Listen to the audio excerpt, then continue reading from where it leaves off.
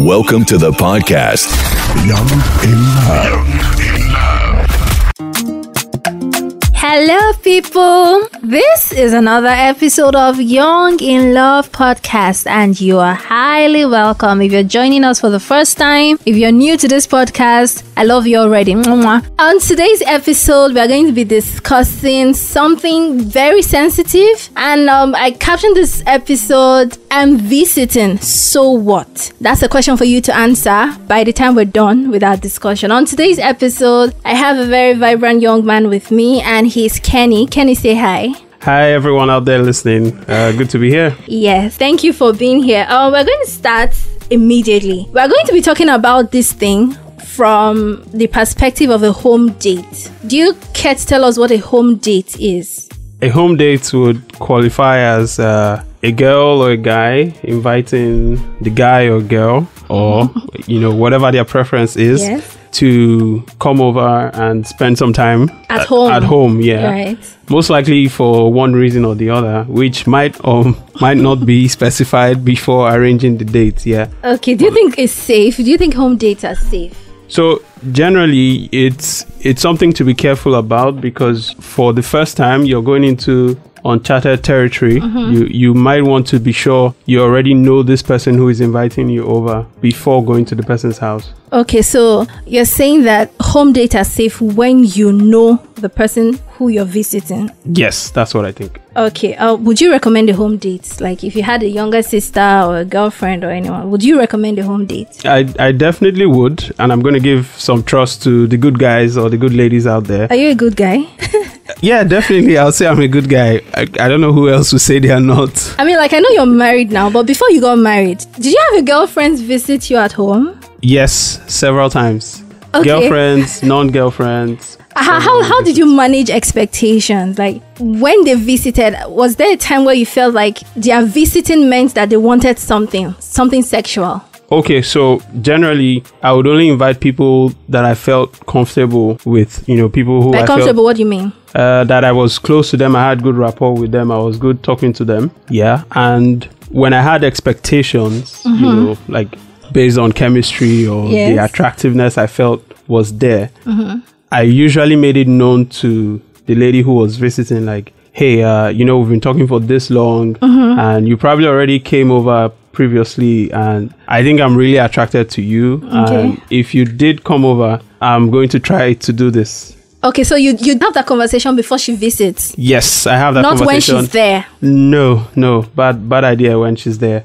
uh, bad idea when she's there. But th- there are cases where it, it comes up uh, suddenly, right? So in a si- situation where you probably, I mean, this is not really a date, but it's visiting, right? So you you go to the club and you meet people Yes. out there. It's kind of spontaneous, right? Okay, so like from the club, you take someone home. Yeah, that that's very risky area. Very very risky that? area.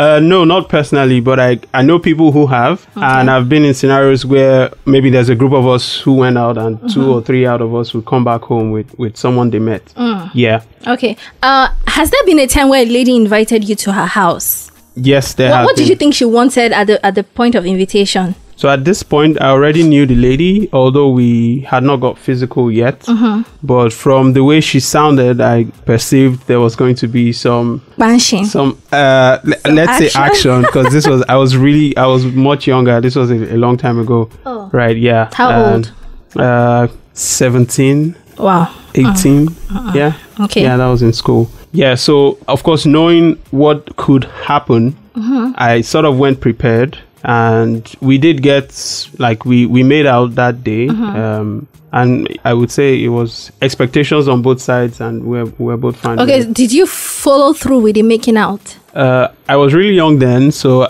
punching, like you call it. I How like old was word. she? Because now you said you were 17, and that age is is not up to the age of consent. Legally. So she was about my age as well. We're both Two the same- minors. yeah, Okay. pretty much. Okay. I got into school quite early. Oh, okay. Yeah, okay. so- By school, you mean university? University, yeah, definitely. No, Oh, no, okay. yeah. Okay, so the issue of sexual violations and assault has been trending lately Yep. in the Nigerian Yeah. space. And there's uh, a report that says that majority of these things don't happen um, they're not perpetrated by strangers they are by people that you know. And Yeah. a lot of these things happen on home dates. You know, a guy or a lady will invite someone over with expectations, not knowing that the person is not really as in it's just a friendly visit. So like why do you think people feel entitled on home dates? We know that it happens with ladies, but let's address that question from the perspective of a man now. So when a guy invites a lady home, most of the time, why do you think he feels entitled to her body? Okay. Um, from the perspective of the guys, I'm going to say there are a couple of things working in a guy's head at some point in their growth and their sexual development, right? There's a bit of peer pressure. You know, you want to brag to, to friends that, oh, this is what happened. Uh, some people do the body count thing. It's, yeah, Okay. it's, some people are like that. And then most likely they've not been properly groomed, right? How to treat a lady, how Yeah. to treat a woman. And so they feel like they can use their position or their power to get one in, in the count, right? Mm-hmm. Which is really, really bad. And then to your original question of managing expectations, if you don't set the groundwork before Before the, the, the, the visiting visit, day, yeah. it becomes really tricky because you, you get into a scenario where the lady the lady says, "I didn't expect this from you," and mm-hmm. then it's a very awkward s- scenario. Yes. If it's late in the night, it gets even more awkward, and then the story afterwards is never pretty. Social media has been, you know, rife with all these stories. It's really sad to see because Yes. what we see is a lot of people you know ending up in people's houses and then waking up at night to being pressed and being touched in the wrong Yes, places yes. it's terrible i mean you know being where they press person for night so yeah, why like there, there was even the story of the lady. She's late now, blessed memory. Toyin. Um, social media carried her news. She tweeted about a man who molested her, you know, at night, and before anyone could say Jack, she was missing, and eventually um, found dead. So, I mean, that's to buttress your point that it, it really does happen. Like this is real. You know, we're not, we're not making it up. So, I'm going to ask you a question now. Has there been any time you felt entitled as a man? you know, like inviting a lady home, was there a time you felt entitled? Okay, this baby's coming home, so ah, there's going to be some action. Has there been a time? yes yes severally Did you set the ball rolling before then? Because she said it's good to have the conversation before. Did you have that conversation? in most cases yes um, in some cases too these were visitors who had visited before Mm-hmm. so we had probably done something Before, before then? even the visit yeah so Okay. this was probably not the first visit but yeah there are several times where you might feel like oh i have someone coming over i mean you you prepare you tidy up the place you maybe prepare dinner you know Mm-hmm. you could be romantic too sometimes yeah so yeah definitely i felt entitled sometimes Like, so the times you felt entitled, you said you had the conversation before. And even for those ones you didn't have the conversation before, there's been some sort of, you know, we already crossed that uh, ground yeah Oh, okay. Okay, so now that brings us to the topic of consent. Do you believe that consent can be implied? Because now you've talked about having some sort of maybe sexual relationship or whatever it is with someone, and then when you invite them home, because you've already crossed the ground, then there's that expectation that I mean she's not going to make shakara for you. How do you think consent should be? Should, should it be expressed or can it be implied? So for every time you are going to punch, Mm-hmm. you there must be consent. It, it doesn't matter if it has happened before or whatever the scenario. There has to be consent from both parties. Yeah. What what kind of consent? So consent is yes, I'm willing to have sex right now, and both parties have to be willing to have sex at that time. I'm asking this question because you said something. You said you've crossed grounds before with some of them. So there's that expectation. So the fact that you've done it before doesn't necessarily mean that she wants it now. Exactly. Which brings us to the next point about perpetual consent. Initial consent does not equate perpetual consent. Very right. The fact that someone is your girlfriend or the fact that you've punched someone in the past doesn't mean that she's always going to want it when you invite Correct. her to your house. True. And now you, you said something about the two parties saying yes. Yeah. Do you know that you can start making out with someone who's in her feelings or who's in his feelings and somewhere along the line consent is withdrawn? Exactly. Yeah. Tell us some of those things that, Good. that guys say. They'll be like, I know not say this thing they pain. Like, you know, when you get to that point and then a girl is like, no, you've already off pants. You've already said pressing some things. And she'll be like, no, no, I don't think. Tell us some of those things that like guys say to justify proceeding without consent. In that case, Um, sorry, sorry. I was going to share how to be sure you have consent. Okay. Yeah, but I, I, I mean, you do that like every stage Yeah. when you kiss? Can I kiss you? Should I kiss you? And she's like, Yes. Can I touch your breast? And like, Yes, you can. Can I remove your pants? Can I go in? Do you do you have to like No. obtain consent every step of the way? No, I don't think it's that granular. I mean, we're human, right? And we're, we're sensitive to our responses. Uh-huh. So if you have kissed before, your initial kiss has to be with consent. You have to make it known. I, Like, I, want, to kiss, you. and you need to get that permission. Okay. But if you have kissed before and you're you're probably dating at this point, Uh-huh. you might get close and then you, You get this look language. like, okay, let's do this, and then you start kissing again. Okay, so in essence, now you're supporting implied consent. Implied consent, yes. so you think that's a thing? for kissing and making out. Okay. implied consent i think it's fine for kissing and making out because you have crossed the initial consent Where is implied consent not fine? for so Penetration. definitely it's not fine for penetration so if you do know a bit about the person Sorry to cut you yeah, short. yeah go ahead So what if this girl just lies on the bed and with her legs wide open? That's not implied consent for penetration now. is she dead with her legs wide open She's alive. She- like and then Uh, maybe she doesn't say come into my garden, but she's like just there lying down with No, her legs open. no, that- You're not going to take that as consent. I don't believe that you just have legs wide open on the bed and there's like a sign coming to my garden. Sex is a it's a process. It uh-huh. starts with the making out and then people get warmed up and people begin to respond to making out. Okay. so all along the journey of the build up to when you are you get into the garden uh-huh. You feel that ping back there's a ping back the man gets hard and warm the lady gets soft But those are warm physiological responses. Yes, while making out. So there's there's every opportunity for either party to say, I don't want this to go this far. Uh-huh. I've done that before, and some ladies I was during my makeout sessions. Uh-huh. Sometimes the ladies give me that feedback that I don't want to go all the way. Okay. Yeah, so you you must get that response before you proceed along this Something sta- deeper. this stage of yeah because they have different reasons right there was one uh, we weren't dating at the time and she's like i'm not comfortable doing this if we're not in a relationship Okay. yeah, and at that point, I'm like, okay, do I want to bring out the would, would you go out with me card or do I want to be serious? Yeah. And I, I chose to be to to calm down and say, okay, it's fine, we can stop here, and then let's consider what what happens next. Okay. So, um, in my opinion, I think that home dates are like really risky because you never know, even with someone you trust, the devil can just, you know, sometimes they say leave the devil out of this, but even if you trust someone, things still happen with people that, that I trust. I remember a time when I was in school, those, those were shenanigans like, Mom, like if you're listening, but on one of those days, like I left school and um, I visited this guy. I was supposed to stay the weekend. and the reason I went was because he looked like a Christian. You know, we were, before then, we always talk about the Bible, we share Bible passages, we pray and all. So I felt like, oh, this is a man of God. So I visited him and I hope I don't get lynched for this, but they are the worst. okay, so like he, I could not believe my eyes that night. And you know the worst thing, I was so scared because I felt if anything happened, the blame would definitely go to me. Because the, the question is going to be, what were you doing in his house? That's that's going to be the first thing. Like Yeah. you're, you're a student, you're supposed to be in school, and that's what we're talking Weekends about. are okay, risky. very risky. Weekends are risky.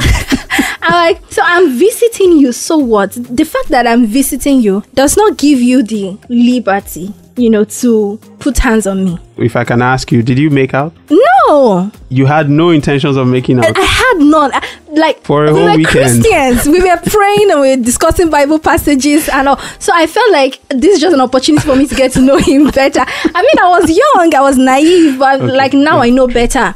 You know, I would not go to a man's house to spend the weekend like that. You shouldn't. Exactly. So I mean, I know, but then that was that, that was my expectation. But he he was older. He was in his thirties. So I don't even want to go into details because like I almost cried that night. You know, because I was Yeah. scared, not necessarily because what he was doing or trying to do, but because uh, who will I tell if something happens? So we're going to close on this note. What do you do if a violation occurs? Or there's an attempted assault, like sexual assault or something on you. Do you have any advice for guys, um, for, for girls, what to do if, if something like that happens? Okay, so my my first tip would be to avoid the scenario completely By not can. visiting? By not visiting when you are not sure of who you are going to visit. I mean, at that time I was sure, I felt I was. It's so if you must visit, you could do it in daylight hours. So that's that's like your backup plan, your escape plan. You don't you don't visit when all the taxis have stopped moving and you don't have your own transport fare. You don't have your way out. Yeah. So you must always plan for the worst. Yeah, I think this thing you said about um, transport has made me remember something. Amara, she's supposed to like be here, but physically she cannot be here. So she's in Texas, but she sent in her audio, and I think that her audio tip is very useful, as in what to do if someone tries stuff. We're going to listen to it briefly. I had this male friend I was really familiar with. One day he called me and asked if I could come by his house to go through some documents for him. So I agreed and then I got there that day even though it was my first time going to his house.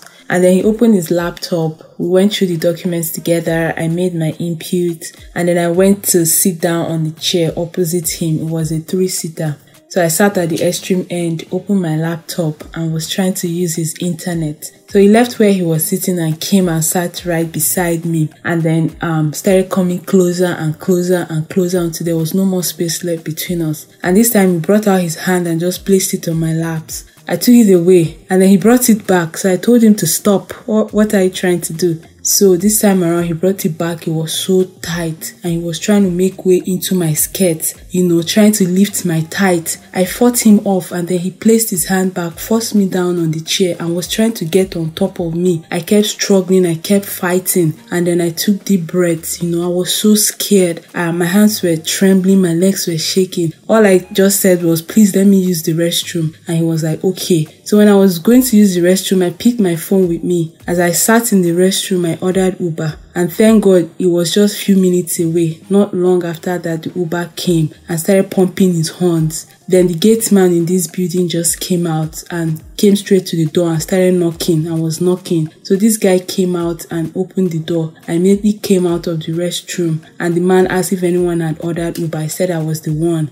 So I just went, picked my bag and then left. Okay, so um, from that uh, audio, I think she did something really smart. She was like, "Can I use the restroom?" I, I don't even think all guys would let her go. If it's a guy who's bent on doing what's going to do, that restroom excuse will not fly. But I mean, you should try if you're in that kind of situation. See how you can temporarily get away from the abuser, you know, and um, see if you can order an Uber like Ami did, and then just keep your fingers crossed or call someone because she Yeah. she reached for her phone when she was going to the restroom, so you can quickly think of an emergency number, someone you trust that can come get you out of the situation. What do you think? I think it was a good idea. Like she was really lucky to have saved herself there. I think it's also good to try to find a public space or to shout if you're in a place where You there are can make some neighbors around. Yeah, yeah. if you can make some noise and drag the attention of everyone in the compound or Yeah. something, that can also help. I also think if the worst happens, God forbid, we don't pray for that scenario, but if the worst happens, I think it's okay to immediately go and take up the case so that you can get some justice, right? Because a lot of these abusers uh, revel in the fact that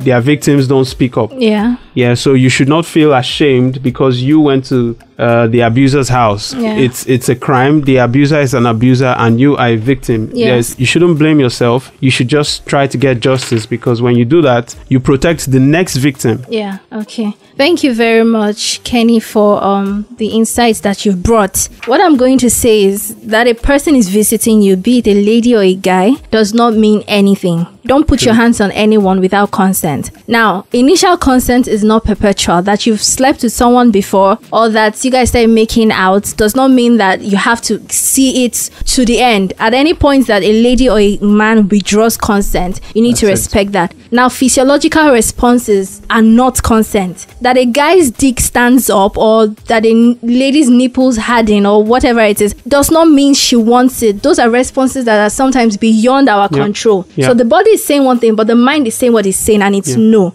Yeah. And no means no. Again, the blame game needs to stop. Ladies and gentlemen, the first question to ask a victim is not what were you doing in his house or what were you Wrong. doing in her house? What were you doing? If you catch yourself thinking that way, you need to stop yourself in the process because that's wrong. That's wrong thinking. That a person visits does not mean anything. On that note, uh, I'm going to bring this episode to an end. Thank you, Kenny, for being on this episode. I really appreciate the sacrifice. You're welcome. My pleasure.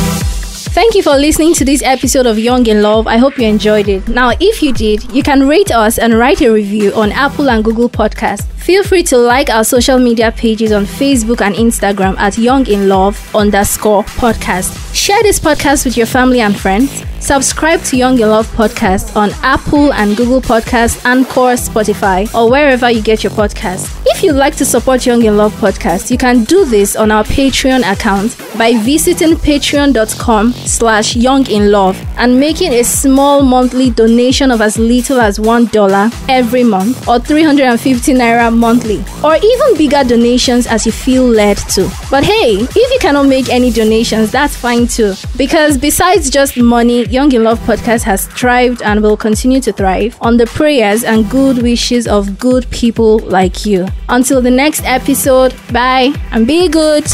Young in love.